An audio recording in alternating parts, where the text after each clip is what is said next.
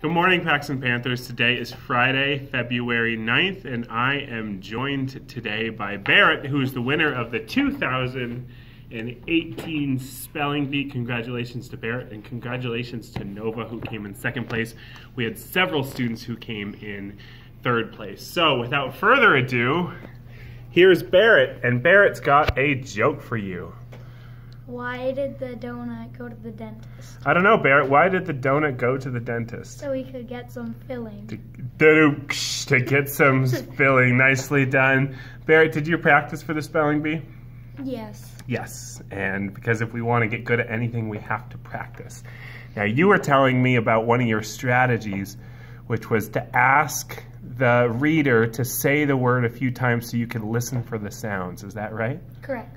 Okay, and and so I have one question for you, Barrett.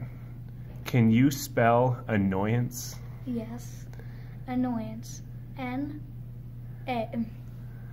Okay, let me Reset, reset. A N N O Y A N C E. Annoyance. Annoyance. And that was the winning word for Barrett in the spelling bee today, annoyance. So congratulations, Barrett. And congratulations to all the fifth grade contestants. You want to tell Paxton to have a great day? Have a great day, Paxton Panthers.